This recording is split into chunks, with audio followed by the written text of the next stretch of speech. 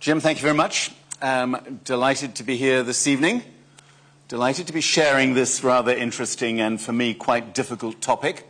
I was intrigued to read the results of the poll and find out just how important so many companies think system change really is. That's fantastic. Something like 82%, I think, came in there. I was even more intrigued, but I must admit, fairly baffled by the fact that 52% of the companies that responded to the survey felt that they already had a system changing initiative on the go. Now, to be honest, in Forum for the Future, charitable though we are, we would think it quite difficult to pinpoint that percentage of companies doing system changing initiatives at the moment. And maybe we'll get into some of that stuff. What really are we talking about? When we talk about a system changing initiative, because it's bound to be a little bit less clear than you might think.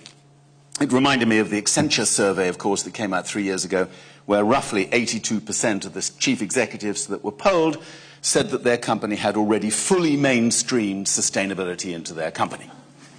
That is the definition of a questionnaire that is not filled in by a chief sustainability officer. The poll was also very interesting because it identified the fact that as far as our audience was concerned for the survey, people allocated responsibility for system changing roughly 50 50 between government on the one hand and business on the other hand. In fact, the phrase that was used was that government and business were neck and neck when it came to responsibility for making the system change. Now, that sounds great to me in theory. I think in practice, we all know that these are very different necks that we're talking about.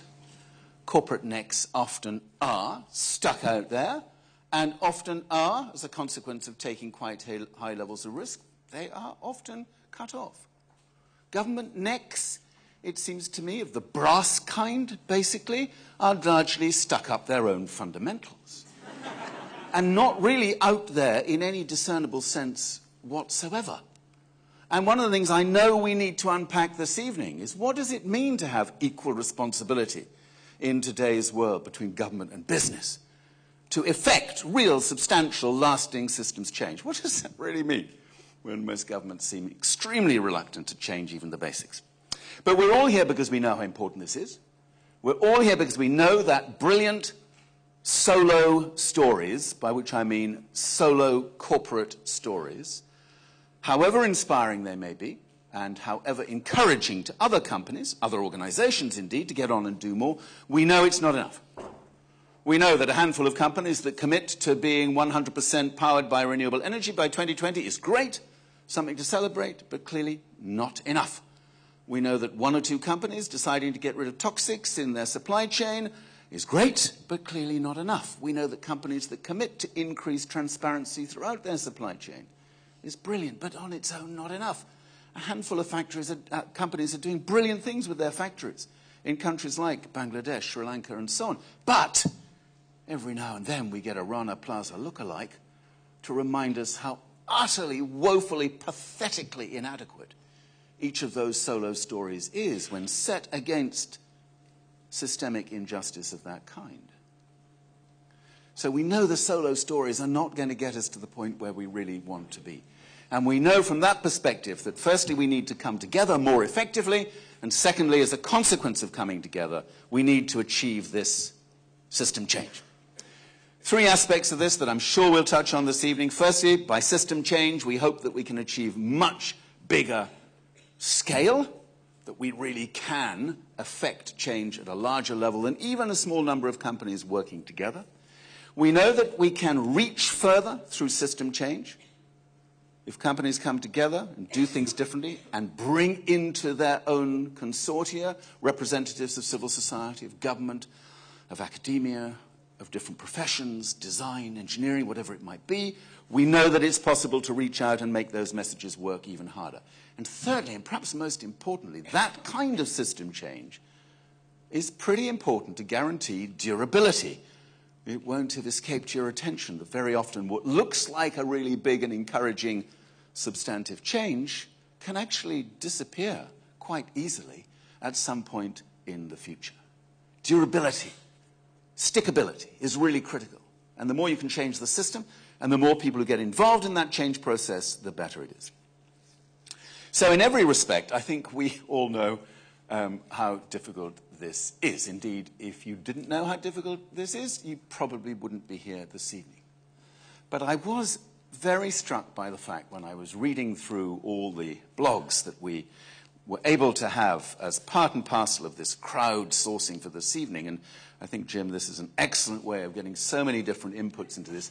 I was very struck by the degree to which quite a lot of those blogs indicated that what we're talking about as, as system change at the moment probably isn't going far enough, even though we know how difficult it is transactionally, how difficult it is in practical terms, how difficult it is to overcome some of the incumbent vested interests in the system. And Gail's blog, and you'll be hearing from her, shortly, opened with that very sobering quote from Machiavelli, reminding us that for a very long time, those who hold the reins of power have the power to ensure that nobody takes the reins out of their hands dealing with incumbency, dealing with vested interests in the system is a massive part of this. So I think the prompt that was coming through the blog, some quite interesting questioning about whether the way we talk about system change at the moment is actually robust enough, radical enough, stretching our imaginations enough. I really liked that challenge. And I'm just going to touch on two of those because I thought they were particularly interesting. Firstly, from Joe Hsueh, I hope I've pronounced that roughly all right, whose blog was fascinating, and I invite you to have a look at that if you haven't had a chance to look at it yet, from the Academy for Systemic Change, good organizational name, you've got to like that, who quite rightly pointed out that it is part of our experience that we know the harder you push in a certain system, the harder the system pushes back. So, how clever are we really being at handling some of those very powerful oppositional forces that our engagement often exacerbates, creates indeed? Sometimes in the system. And he quoted from Peter Senge, and I just invite you to ponder this quote. I don't actually know what this quote means, but I am really struck by it, and I'm hoping it'll come up round your tables this evening. What is most systemic is most personal. That's deep. Peter is often deep. But what does that mean? Are we really succeeding in touching that whole dimension of a deeper, values based, personal approach towards system change? In Many instances, we're not. And secondly, the blog from Jon Alexander from the New Citizenship Project, who was pretty out there saying, Come on, guys, wise up. At the moment, a lot of this system change seems to be directed towards the individual as the consumer. And he refers there, somewhat disparagingly, I have to admit, to the fact that we're very keen on a revolution in material flows through the economy, but not a revolution in terms of mindsets. And I thought it was very important that he reminded us all that language is not just a collection of words strung together for a particular communications purpose.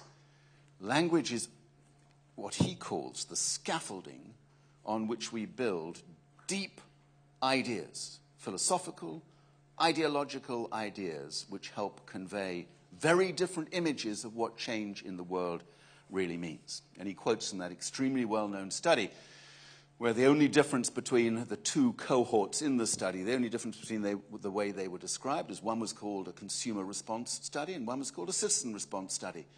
And the people who were in the citizen response study were much more enthusiastic about their ability to change the system, whereas those in the consumer response study, sort of a bit mangy about it, really. Very limited ambition level.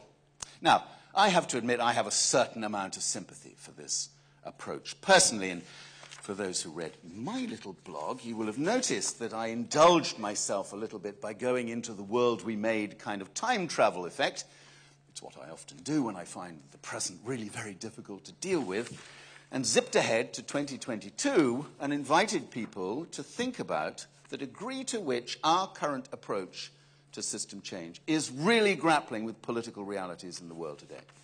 So this is Alex McKay looking back from June 22. This isn't in the book, by the way, it's just invented for now. It took everyone a very long time to understand just how completely governments had lost the plot in the first decade of this century. 25 years of the crudest neoliberal ideology had profoundly corrupted the body politic. Their shtick went something like this If it moves, privatize it, marketize it, monetize it. Shrink the size of the state at all costs, use our good friends in the media to demonize taxation, and then move to minimize the burden of taxation on both our friends, wealthy individuals, and companies.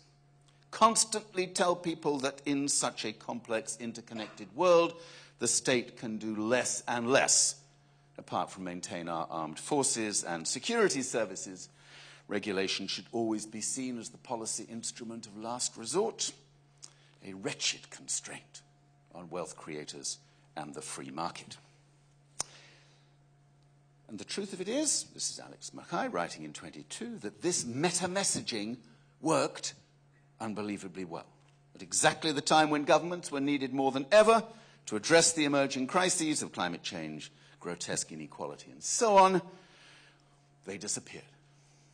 They played no part at all in this in that early decade. And then this is the last para, but this is most relevant to our topic this evening.